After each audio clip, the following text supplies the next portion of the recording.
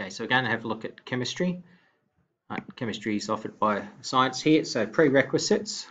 Okay, there are no prerequisites for chemistry. You just continue on with the knowledge that you already have from junior science. It's just that it's going to be a bit more specialised in chemistry rather than having a look at the general science from the junior school. Okay, it is a category A subject.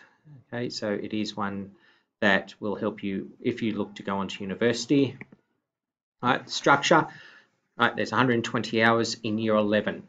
Right, there is, we're looking at working scientifically skills. So they're things that you've already been looking at in terms of reading data, communicating research skills, practical skills. And then we have the content modules. Okay, we're going to have a look at properties and structure of matter where you really get stuck in and have a look at the types of chemical bonds that there are and also have a look at the way that the atom is put together. Module 2 is an introduction to quantitative chemistry, so you have a look at the masses that are involved in reactions, the volumes of gases that can be released in reactions, and you also have a look at the types of things um, looking at how to make most efficient use of reactions in industry. Module 3, you're looking at reactive chemistry, so you're looking at the types of energy that's involved in the chemistry, you're looking at uh, different types of reactions again and what actually it looks like in terms of those reactions.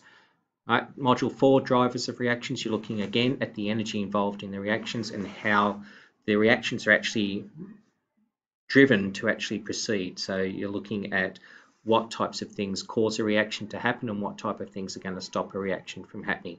Now you need to do a depth study right over here. It's 15 hours. Now it's 15 hours in class right?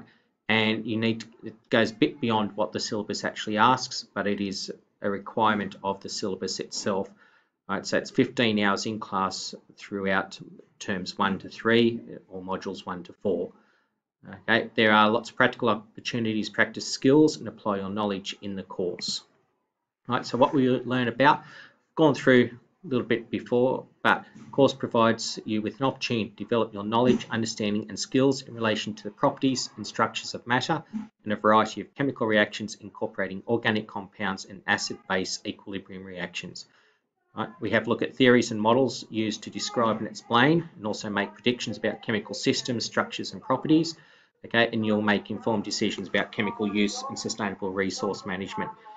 So it's looking at making you able to use chemicals safely and responsibly and also uh, allowing you to relate the chemistry into other subjects that you might be doing.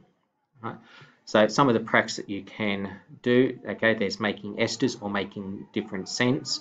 Okay, one student this year has actually made biodiesel as part of their depth study. We also have a look at flame tests and looking at how they apply to fireworks okay, testing chemicals from home, and we also have a look at equilibrium reactions. All right, so career opportunities, you can look at becoming a research scientist, forensics, medical, food scientist, okay, there's a whole range of different things that you can put up in terms of careers, right, and here's just a few reasons as to why people have chosen to do chemistry in the past. Thank you.